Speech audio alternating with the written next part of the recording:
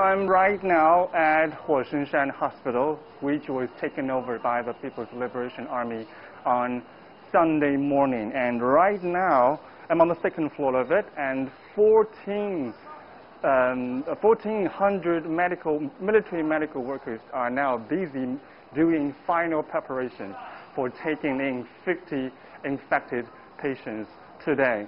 And uh, let's go take a look at one of the hospital uh, wards.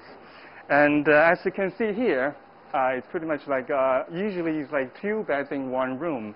It, as you can see that the beds are ready, clean pillows, sheets, covers, and the hospital dresses are ready.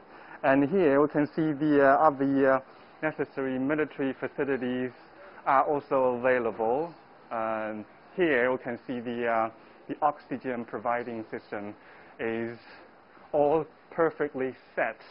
And one thing worth noticing is that all the entire hospital is covered by a very special ventilation system that all the air we're going to breathe inside the hospital will be filtered, cleaned, and then will be, you know, uh, through a very negative uh, pressure system to, you know, uh, get them out of the entire building to ensure that the working environment here and treating environment here for both the hospital, for doctors and patients are healthy.